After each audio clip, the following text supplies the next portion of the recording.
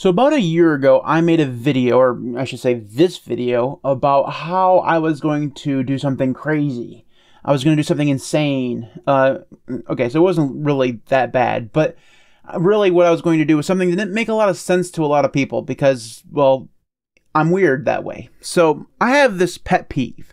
Basically, I don't want to see a dot file. Now, I understand dot files are hidden by default. That's why they're called dot files. There's a whole thing there. And I and in the comments of that video that I just showed you, and I'll link it in the video description because you'll need to have it for some context if you want to know exactly what I'm talking about. Basically, the whole comment section was filled with people. Well, it's a they're dot files. They're not just use ls the right way. That's what a lot of people were saying. If you use ls without showing the dot files, you won't ever see the dot files. Therefore, your home directory will be clean. It won't actually. You'll just not see the mess. But that's beside the point. Anyways, a year ago, I made this whole video basically saying that I was going to create myself a second home directory. I was basically going to use a second home directory for all of my personal documentation, personal stuff, and the regular actual XDG home directory would remain and just be where all of the stuff and detritus and stuff would fall where it needed to be. I just would never see it. I'd never use it. All of my documents and downloads and music and stuff would be my own home directory where I would spend all of my time. And there were two responses to that video. Like I said, part of it was Matt just learn how to use ls correctly and you'll never see the dot files. The other one was like you're never going to last at this. You're just going to go back to using the regular home directory. And to that I say no. I am still here a year later. So let me actually show you my home directory. This is, this is exactly what it looks like right here. That's it. There's nothing there. If I do ls, if I do ls-a, like so, you'll see that's all there is. There's no hidden files whatsoever. Now, if I go up a level, like so, and do ls, like so, you can see that there's a bunch of hidden files there. That right there is the XDG home directory. I don't use it. Every time I press CD, it actually takes me to my custom M home, which is what I call my home, Matt home, Matt home, I suppose. Anyways, it, it, LS just there's nothing else here. That's all I use. I have two Nextcloud directories, pictures, templates, videos. The Vivaldi captures thing just will not stop appearing here no matter how many times I delete it. So it's there. Uh, desktop documents, downloads, music, things like that. The stuff you normally find in your home directory, but without all of the crazy dot files that appear every time you do an ls. Now, most people, when they do an ls, don't have an alias of this, which is what I do. I always have ls do ls-a because I want to see everything when ls works. And I understand that again, that's not what everybody does, but it's what I did, which means I was always seeing this stuff. And that it's not that that stuff, I mean, first off, that stuff, this is actually a pretty clean home directory for me. Nor- normally, or at least when I made that video, it was way worse. So there's that. But also, it hides the stuff that you're probably always looking for, right? So your documents or your downloads folder is going to be blended in here alphabetically with all the rest of the stuff, even in between your regularly scheduled dot files, right? So it's kind of all blended together, and I hated that. So I've been doing this. Now, what I thought I would do today is just kind of talk about how this has worked, because when I first started this, I wasn't too sure on how I would do it. I had some things set up, but some things have also changed. So, so for example, when I press CD, I always go here, but I can still CD to downloads or whatever, like so, and it will just take me to my actual downloads folder. And I can do that from anywhere thanks to Zoxide, which I'll talk more about here in a second. I've also made a video about that.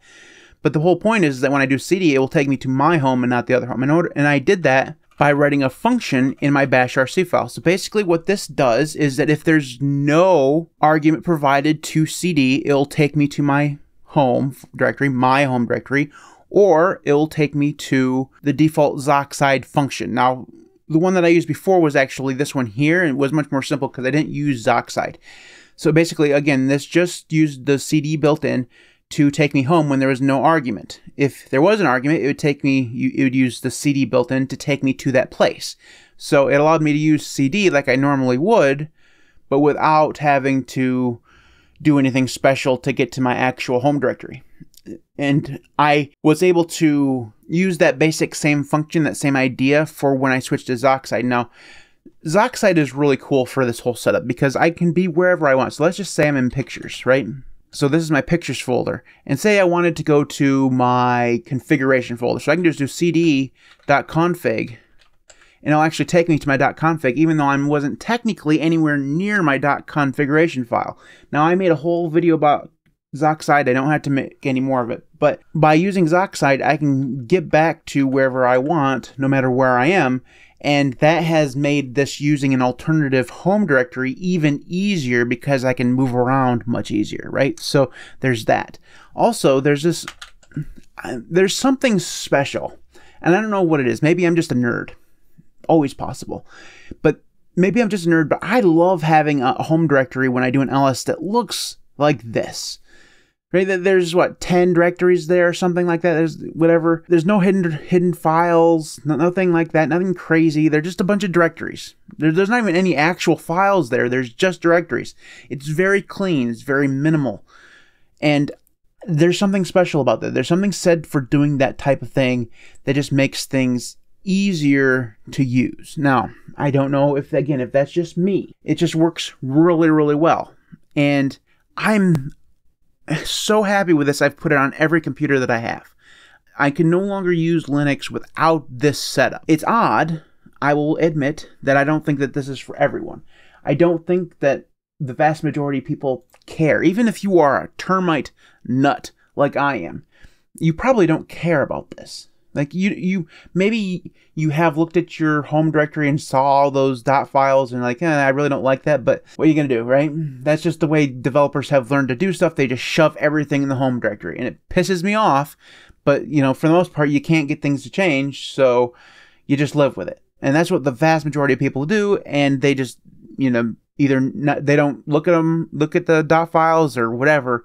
They ignore the problem, and that's fine but I needed a solution. And since I've switched to it, I can't say that I'm more productive or any of that stuff. So I can't tell you that there's some beneficial, you know, thing for doing this. But mentally, for me at least, it has just been awesome. And it's just one of those things where it doesn't feel like it does anything for you, but it makes you feel good. So I highly recommend if you are interested in this type of thing, and also I have no clue why my camera won't stay in focus. Stop that camera. Autofocus is off, so there should be no autofocusing. Calm down, Matt. It's fine. But uh, anyways, I highly recommend if you're interested in doing this for yourself, watching the video that I'll link below or put in the, I'll put up in the cards as well. You can watch that, see how I did this, and do it for yourself because uh, it really, like I said, it really does make your terminal workflow just a little bit better. So that's it for this one. Just a little bit of an update on my this minuscule part of my workflow, I thought I'd share. Hello, unfocused Matt again. Hello, stop that bullshit, you piece of crap camera. Anyways, if you want to follow me, you can do so on Mastodon and Odysee. If you want to support me and help me buy a new camera this year, you can support me on Patreon at patreon.com slash linuxcast. I'd really appreciate it because obviously there's something about this one, uh, anyways, thank you for your support. Thanks to everybody who does support me on Patreon and YouTube. You guys are all absolutely amazing. Without you, the channel just would not be anywhere near where it is right now. So thank you so very much for your support. If you would like to support me on Patreon, patreon.com slash, slash the LinuxCast slash the LinuxCast. You can also support me on Patreon or Ko-fi and YouTube. Those links will be in the video description, or you can head on over to the store, which is available at shop.thelinuxcast.org. There you'll find all sorts of merch. All the sales for that go directly towards me buying a new camera, which is probably a good idea. So there you go. Thanks everybody for your support. Thanks everybody for watching. I'll see you next time.